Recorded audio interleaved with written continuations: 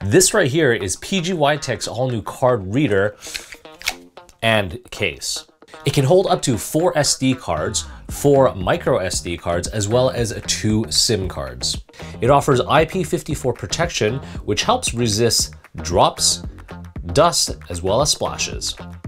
So PGY-Tech did send me this device to review. However, everything I'm gonna be telling you about is gonna be based on my honest opinion. I really like its tactile feel. It's got this rubber silicone grip, so you know you can really, really hold on to it and it won't slip out. And when you just kind of push it out, it's just very, very easy and it doesn't feel cheap or anything. And the SD cards, um, how it's, you know, put in there is fairly snug. So when you kind of shake it around, you don't have to worry about those SD cards falling out. This thing does weigh 133 grams, so it will add a tiny bit of extra weight to your kit. I like how it does come with this carabiner clip so you can clip it onto whatever, uh, as well as a SIM card pin. To take out the USB cable, you do have to use your fingernail to kind of pry it out.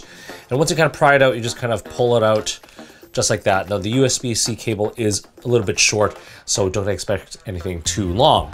Now the only one thing that I have to say that uh, could be improved would be that if they had a female USB-C port on this, just because, um, you know, if you're gonna connect this to your laptop, no problem. However, if I have to connect this to my iMac, I have to kind of go around to the back side of my iMac to plug it in.